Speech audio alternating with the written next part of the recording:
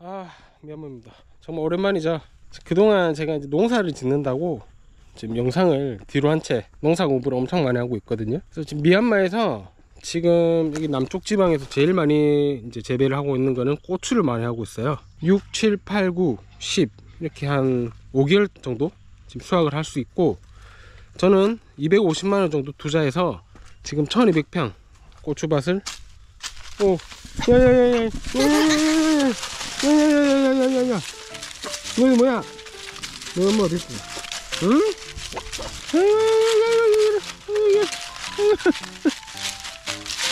지금 천이 빅평에 어, 250만원 정도 들어갔고 이제 좀 45일 정도 됐거든요 45일 됐고 한 달 반 정도 있으면 수확하는 단계고 이제 수확했을 때 예상 수익은 한 700만 원 정도 될 것 같아요. 그래서 지금 제가 이제 주말에만 이렇게 좀 신경을 쓰고 있지만 매일 관리자를 좀 고용을 해서 농약이랑 영양제를 매일 주고 있는 상황이에요.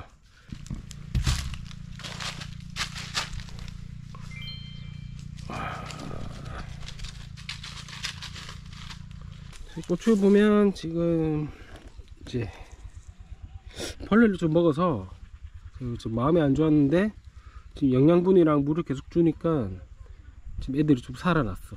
지금 꽃도 폈고. 또 엄메일이 말해주세요 애기처럼 잘 다뤄줘야 돼요 모델레시에라 아, 뭐 정체 있다. 그래서 매일, 매일 약을 쳐줘야 돼어 내일 아니면 여기 여기에요. 보이제? 음. 보이지? 네. 농약을 매일 쳐줘야 되는데 이제 좀 저렴한 인건비로 지금 매일 쳐주고 있어요. 그래도 노지에서 이 정도면 아주 잘 된 거거든요. 다 뽑아삐고 농약 다 치하겠다. 네 맞습니다. 이 풀에 이제 벌레가 많거든. 네. 네 맞아요. 맞아 엄마 호가 이 자리 열심히 이게 세운 뼈알이 마 빨리 그래 음. 그래서 이쪽 저 라인 다 해야 전부 다. 해야지 오랜 길이 안 되지 팀장님 이거 왼손으로 해야지. 어, 오른손 오른손. 계속 이거 누려야 됩니다. 다음 시 무슨 와. 근데 누나 유지다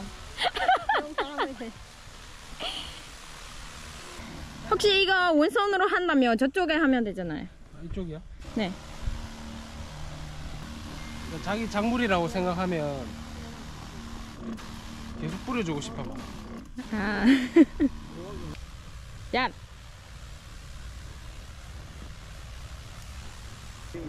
어 이거 뿌려야 된다고 합니다. 이쪽에? 네. 이쪽에 뿌려.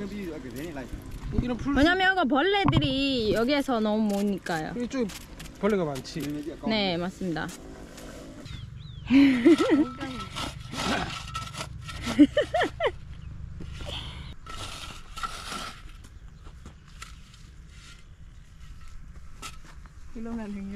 안에 뿌 힘들구나 이게. 아, 돌 만들기 힘들다 이게. 네 맞습니다. 농사가 쉬운 게 아니네. 와. 지금 현재 온도가 29도 정도 되거든요. 와, 피부 다 탔어, 진짜.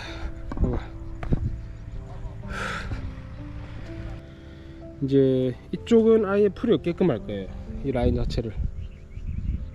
왜냐면 여기서 벌레가 엄청 많이 나와요, 지금.